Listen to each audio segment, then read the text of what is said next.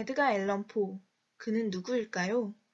누구보다 불행한 삶을 살았으나 그 누구보다 아름다운 문학 작품을 남긴 미국 낭만주의 대표 시인 에드가 앨런 포에 대해 알아보겠습니다. 그는 1809년에 태어나 1849년에 사망했습니다. 40살의 젊은 나이에 세상을 떠난 포의 짧은 생애에 대해 알아보겠습니다. 그가 한 살 때 그의 아버지는 집을 나가고 두 살 때 어머니는 결핵으로 세상을 떠났습니다. 그로 인해 어릴 적부터 떠돌이 생활을 하다가 부유한 담배상인 밑에서 자라게 되었습니다.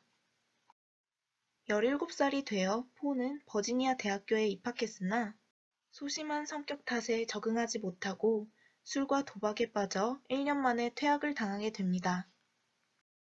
이후 포는 생활고 때문에 미합 중국 육군에 들어가 1년 만에 높은 지위에 올랐으나 형 윌리엄 헨리의 사망 소식에 충격을 받아 다시 술에 빠져들게 되었습니다.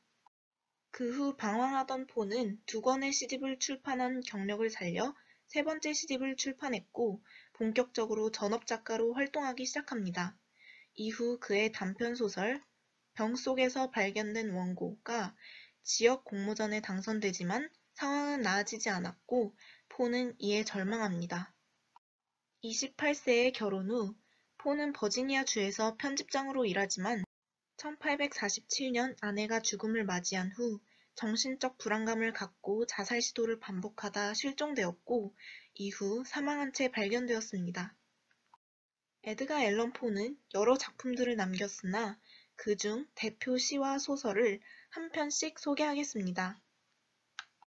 에드가 앨런 포의 대표 시이며 생애 마지막 시인 에너벨리는 아내의 죽음을 애도하는 비가이자 낭만적 사랑시입니다.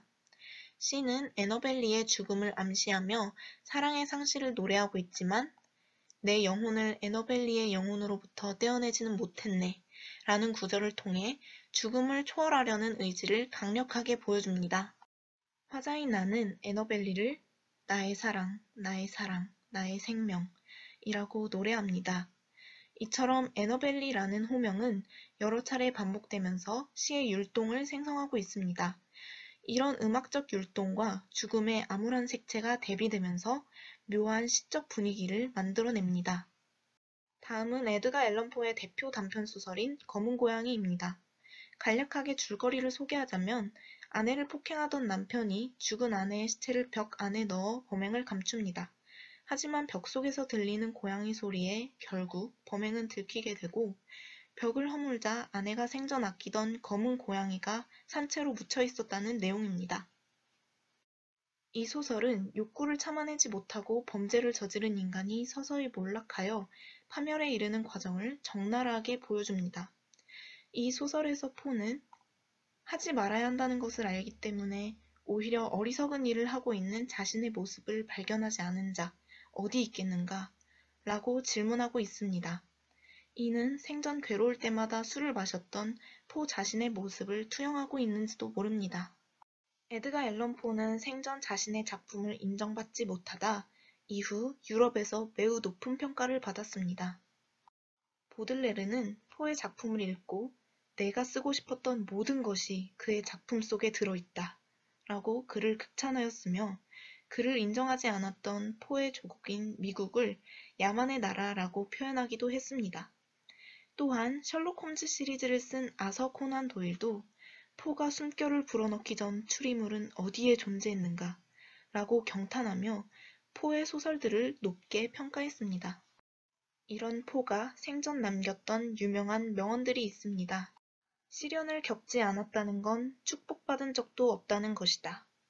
스스로 확신하고 있다면 남을 설득시키려고 하지 않는다. 예술은 비판하지 않고 보는 것이다. 이렇듯 시련을 축복으로 승화했던 에드가 앨런 포는 작품으로 남아 지금까지 많은 사람들에게 영감을 주고 있습니다. 이상 발표를 마치겠습니다. 감사합니다.